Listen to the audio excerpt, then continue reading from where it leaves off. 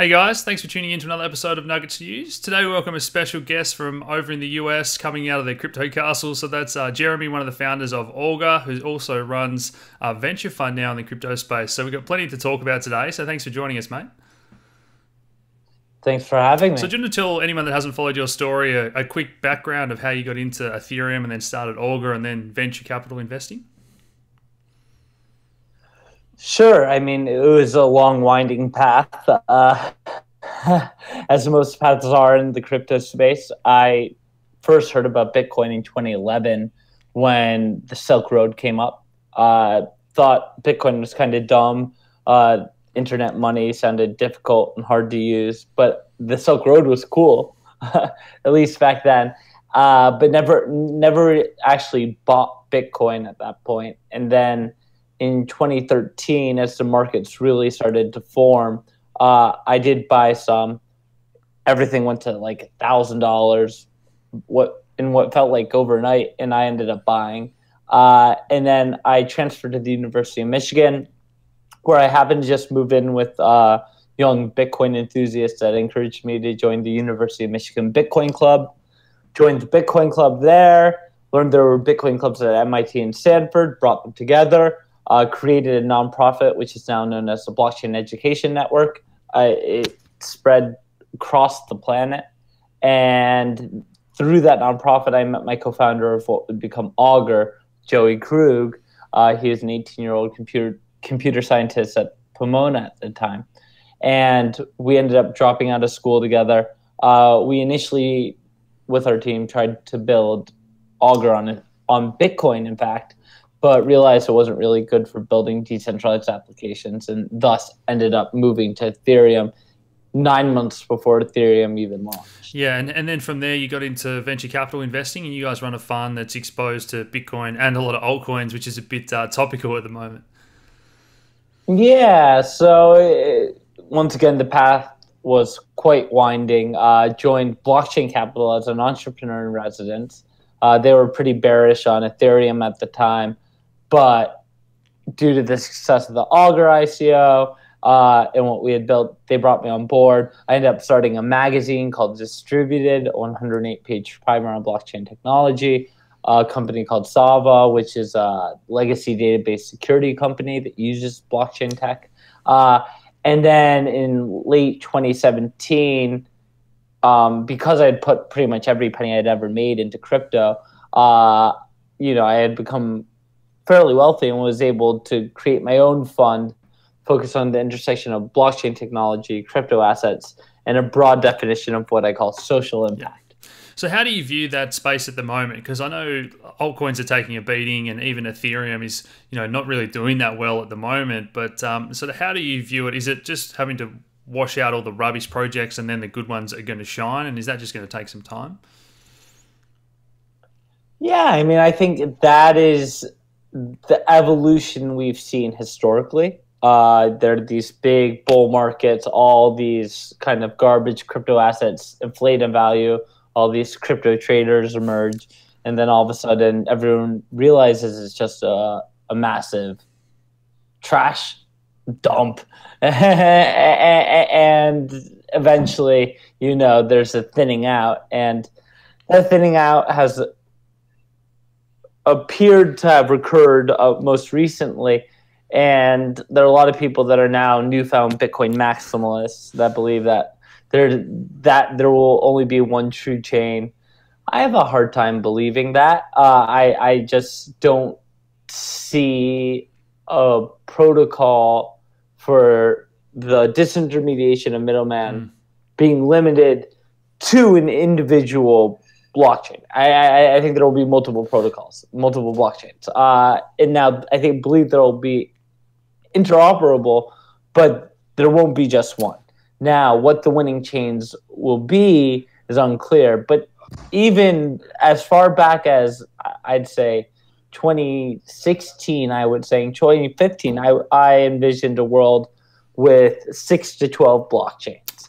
Maybe today it's closer to six uh, but my thesis really hasn't changed over time because I think there will be a need for different sort of value protocols. Like I understand why there's one internet there because there really only needs to be one information protocol, but value can be delivered and realized in so many different ways that I think there will be multiple value protocols. Yeah, there's a good report by Electric Capital out recently, and they were saying that um, you know Ethereum's got four times as many developers as Bitcoin, let alone you know ten times more than the next other protocols. So, do you think that Ethereum is still you know a few years ahead of the rest of them, and is that one of the ones you're still most confident in? So it depends how you quantify ahead. Uh, Ethereum was built very much um, in honor of Bitcoin to a certain extent. Uh, it, it, was built as a censorship, decentralized protocol, not for money, but for applications. And what all the subsequent blockchains that have emerged since have compromised on is that decentralization and censorship resistance for the speed and scalability that Ethereum currently lacks. Yeah. And so you have these new protocols that are faster uh, and they are more scalable, but they compromise on the very purpose of blockchain technology, yeah. which is which is censorship resistance and decentralization. And so I find that problematic, and thus there's no, I, I, there's nobody I would bet on before Ethereum after Bitcoin, simply because there's nobody that has solved the problems that Ethereum's trying to solve while still retaining those essential features of a blockchain. And do you think now that we've seen Libra and a few of these other chains pop up, you know, Binance chain, do you think that's sort of people are realizing that scale that you're talking about where oh hey yeah, yes there's eos and there's there's neo but it's really all about decentralization as you were sort of just saying. Well so libra plays a big role in how i think about all of this because with libra it's going to be scalable it's going to be fast it's not going to be censorship resistant and it's not going to be decentralized. And i think i think everyone can agree on that so the question is, for all those blockchains that came after Ethereum that uh, uh, plan to solve Ethereum's problems, but compromise on those core values, uh, does Libra pretty much annihilate them all? Uh, that's kind of my assumption right now. Uh, I, I, there may be a room for one or two scalable blockchains that are not Libra, but I think uh, Ethereum's going to capture that censorship resistant category for applications. Bitcoin will capture that for money. And then Libra can really capture a massive amount of the market that wants a blockchain or a distributed database, if you will, uh, for all those other applications that a lot of the new blockchain developers have been flaunting. So let's uh, go back and talk about Bitcoin because I know you were saying in another interview that you're super confident in Bitcoin, and you know you're not as confident, I guess, in these other altcoins. But I guess that comes back to risk and reward because I think the percentage term gains from some of the current prices are probably going to outpace Bitcoin. Or do you still think that Bitcoin could offer the best rewards and is the safest play? I think that's hugely improbable. I mean, my my the market cap at the end of the day, you know, when Bitcoin re- receives close to its full potential or achieves close to its uh, its full potential, I believe is around twenty trillion dollars, which is a lot of money, and it's a it's a big multiple from where it is now. However, relative to the potential value of other crypto assets, I think especially in the short to medium term, there's probably more upside in others, but Bitcoin is far and away the safest bet. Yeah. And still uh, has very likely eye-watering returns in the near future. Yeah, I tend to agree. So, um, yeah, let's chat about Augur because that's sort of been one that's um, you know been around for a while now, and we've seen a few interfaces come and go already. I think they're a little bit ahead of their time, but recently we've seen things like you know Twitter integration and some other projects doing some cool stuff built on top of Augur. So, do you think it is just still too early for people to be actually using this stuff, or is it finally getting there? So when we founded Augur back in 2014, and then 2015 when I was on the road show, uh, I would often say I don't think it's going to be probably a decade until something like Augur achieves its potential. So much at the human level, social level has to change. This awareness of the surveillance state that we live in, of surveillance capital that exists, uh, for people to really want a platform for Augur. And then the UI, the UX needs to get better. Uh, the same problem that exists with all uh, blockchain technologies, which is uh, uh public and private key cryptography. Uh, we haven't really solved that and, and made this tech usable. I think Augur is very early on. They, they've been very smart about the runway. And I just, I, there was no world in which I ever thought Augur was going to be an overnight success. There are areas where, you know, I wish adoption could have been faster, the frankly like Ethereum hasn't scaled to the extent where Augur could really be that useful for the masses. You know, until it's easy to integrate a stable coin, which is coming really shortly, until it's easy to access Augur without using like uh, any sort of extensions in your web browser. Um, like until there's a marketing budget, like most gambling websites, you know, it's going to be very difficult for Augur to achieve its full potential. But I haven't sold a single rep token that that I received as a founder. My fund holds a very sizable position, and I'm very bullish on its long term potential. I mean, there. I, I think one of the realities of crypto assets is that there's a huge first mover advantage. You know, we've seen this with Bitcoin, we've seen this with Ethereum, we've seen this with Ripple and Litecoin. Like, if you're the first new type of blockchain or pseudo blockchain, it gives you a huge leg up in market capitalization, community, uh, and long term viability. Uh, tech doesn't really always win. It's really whoever moves first. So you guys are and Augur was the first mover in real bona fide decentralized prediction. Yeah, I was just going to say, so you guys are planning on integrating Dai from Maker fairly soon? Yeah, that's happened. I, I, you know, I haven't been involved in a hands-on manner in quite some time with Augur, but uh, the the roadmap has it planned for this fall. Yeah, so yeah, you mentioned decentralization and censorship resistance. All that stuff is sort of coming into that mainstream narrative a little bit more. We see stuff like you know the yellow vests and Hong Kong protests. Do you think the sort of the next generation of people is waking up to all this stuff and the games that a few of the big tech giants have been playing? And is that sort of what motivates you to build these sort of applications? If you look at the response to Libra, even how how much people really dislike and distru- mistrust Facebook, I think it's a sign that people are becoming aware. But if you think about the developed world, you know, we have it pretty good. You know, Western Europe, the United States, or most of North America, you know, I don't think the Orwellianism that has creeped into our society is going to change consumer behaviors anytime soon. Uh, it, it, it may, especially if like all of a sudden a country stops printing cash and they go all digital. All of a sudden, every transaction we make is being monitored, mm.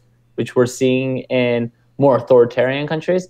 Uh, but frankly, I think most of the great applications of blockchain technology, say for a few examples like Augur, are really going to be realized in the developing world, in Latin America, uh, in Africa, the Mid East, South Asia. Uh, I, I, think that's where so much more potential lies uh, in the medium term here.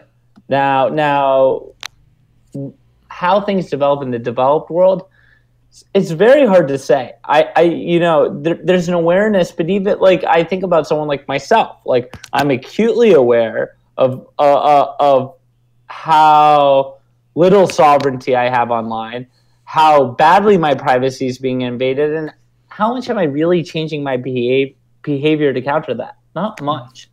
You have, you have to be so willing to sacrifice comfort for security that I don't think most people operate that way. It, it, goes against our instincts. Humans just want to be comfortable.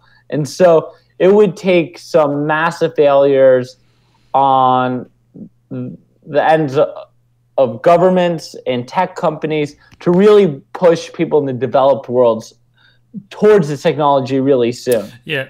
But I, I think, but I, I think certain crackdowns on certain technologies could create a move to decentralization faster than expected. Yeah, I'm not sure if you're aware, but in Australia, they've started these sort of um, monitoring programs with the cameras, the same as we have in China. And they're talking about banning cash transactions. Initially, it was $10,000, but they're talking about bringing that down to $2,000, and they want to include cryptocurrencies in that. So and you and you guys have been talking about banning encryption, which is this talk that the the, the, the crypto wars of the '90s are coming back with a vengeance in the developed world, and I don't think they'll win. I think it's just it's farcical to suggest that you know you could ban encryption and and have online communications be safe at mm. all. Uh, but it, it, it, it's concerning. I mean, you know, politicians tend not to be representative of the younger generations and tend not to be aware of the exponential curve that technology is on and, and, and, can't keep up. And that's deeply problematic. We need younger politicians, we need younger bureaucrats working in government around the world to help governments not make just really idiotic mistakes like that. Yeah banning encryption. And we're already seeing a lot of young people move to startups, um, move their startups to Southeast Asia out of Australia. So, is there anything else we haven't spoken about today, Jeremy, that you're really passionate about or want to touch on? Well, you know, I I, I think what I'm seeing in crypto today is is is really reminiscent of uh, 2015, 2016. It's kind of boring. Uh, it's not that it's dead. Like 2015, 2016, people said crypto was dead. Uh, it, no one's really saying that now, uh, but in 2015, 2016, a large, a lot of large enterprises, banks, tech companies, retailers started talking about blockchain technology, yeah. not Bitcoin, and doing all these proof of concepts that weren't really realized. Now, what you see in 2018, 2019 is those same sorts of pr- proof of concepts are actually now being implemented but once again, they're not really sexy. They're blockchainy, not Bitcoiny. Uh, they don't feel revolutionary per se. Uh, and I think it's a harbinger of what's to come. I think that it will mean that this technology is going to be ad- adopted in a dramatic fashion in a way we can't really fathom. But it's going to appear really unsexy until it just kind of hits us in the face how big this actually is. And I think, I think Libra could be a massive catalyst if they can deal with all the regulatory scrutiny they're dealing with right now. Absolutely. Well, mate, you're at the Crypto Castle. I'll let you get back to it in a second, but I just wanted to ask you, what's the Crypto Castle all about for those that haven't read? Is it just a party house, or is it trying to get startups to come and use blockchain? Or so the first Crypto Castle in San Francisco was really just a joke. I mean, we had a dingy two bedroom apartment for six people uh, for, for Augur before we raised any money that we called the Bitcoin basement. I like alliteration. And then we raised a bit of money. we got a three bedroom house that we turned into seven. And I jokingly called it the Crypto Castle. Journalists who didn't really feel like explaining crypto, but were assigned to the crypto beat, they would come to our house and write about a house full of crypto enthusiasts rather than trying to explain the technology. And they'd still get the clicks they wanted. Uh, but then obviously as the industry evolved i made money uh, i started to realize i probably didn't want to be based in san francisco i started thinking about moving elsewhere ended up in miami started to think i could maybe recreate uh, the crypto castle here and the crypto castle in san francisco has been incredible it's generated you know hundreds of millions of dollars worth of startups. It's minted nearly a dozen millionaires and multimillionaires uh, for this like pretty shabby house. Uh, but the, but this house this house in Miami, which is very much more like a castle, uh, it's more for the more established folks I know in crypto, the guys that made their money that want a crash pad, uh, you know, fully loaded. It's got the booze, it's got the food. There's I always know where the party is if people want to go out. Uh, and to a certain extent, you know, it it a, it lives up more to the notoriety of the crypto castles. But at the same time, I mean, there's still just always incredible people coming through, ideating, creating, uh, doing deals together, really thinking about the future of this technology and the future of the planet. And that's really fun. I mean, it's why I'm doing a TV show now called the Crypto Castle Chronicles. Uh, the first episode, the pilot episode, should actually come out tomorrow. And you know, I think what you'll see on the show is really something more than just a party house. It's a, a place where like really fascinating people come together and, and try to build something greater than themselves, which is, you know, I think the most important underlying underlying drive uh, in humanity. Awesome. Well, guys, I'm, I'm probably going to upload this a bit later, so I'll put a link below to the show once this is out and um, to, to follow you, Jeremy. So thanks so much for joining us today, mate. Really, uh, really, really appreciated that. My pleasure. I was happy to be thanks, on. Guys.